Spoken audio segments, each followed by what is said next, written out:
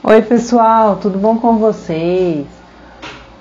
Olha, eu aqui outra vez e hoje eu vim com a dica de como fazer raspadinha de diferentes sabores para se refrescar. Apesar do verão já ter ido embora, mas no outono ainda faz um pouquinho de calor, então durante o dia ainda dá para tomar uma raspadinha, né? Então, ela é querida pelas crianças e pelos adultos. A raspadinha é a sobremesa ideal para se refrescar ah, naqueles dias mais quentes. Feita basicamente de gelo, suco de fruta e leite condensado. Ela é o doce na medida certa para dias mais quentes. E já que o calor é, já que o calor da estação não perdoa, apesar de não estar tá no verão, mas sabe que no Brasil é verão quase o ano inteiro. então, que tal aprender como fazer raspadinha de diferentes sabores? Então, se você ficou curioso para aprender, fique aí no vídeo até o final e confira essas dicas maravilhosas. Então, a raspadinha também é feita a partir de pedaços ou frutas, seja eles congelado ou concentrado. Mas por ser uma receita brasileira, ela é adoçada com um ingrediente muito querido em diversas sobremesas do país, o leite condensado. Aí você vai precisar de 15 a 20 cubos de gelo um pacote de suco de fruta em pó ou pedaço de fruta a gosto, água para fazer o suco e uma caixinha de leite condensado.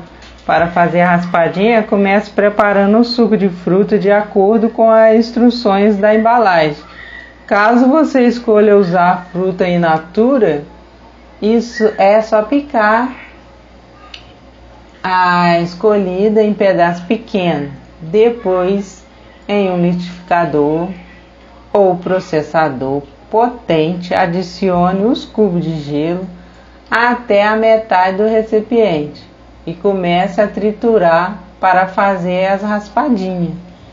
Quando o gelo estiver totalmente batido, despeje uma parte em um copo de vidro, preencha com o suco e finalize com a quantidade generosa de leite condensado. No caso das frutas in natura, a dica é, é acrescentá-las aos poucos, enquanto você tiver, é, enquanto você tritura o gelo e adicionar um pouco de água gelada para ajudar a bater.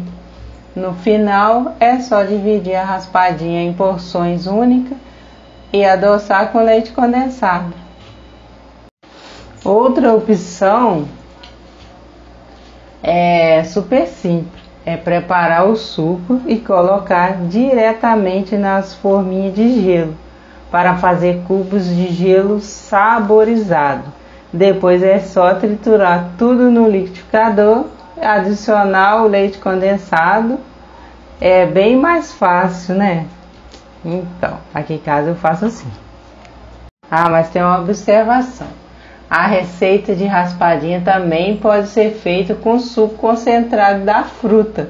Basta prepará-lo conforme as instruções da embalagem e acrescentar quanto gelo estiver triturado.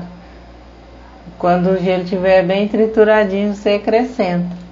E a dica é para dar aquele gostinho a mais à sobremesa, que tal substituir a água do suco por água de coco. Também vale misturar diferentes tipos de fruta. Acrescentar as raspas da fruta, como no caso da raspadinha de limão, ou fazer uma versão colorida usando diferentes sabores de suco em pó. Em todos os casos, fica uma delícia.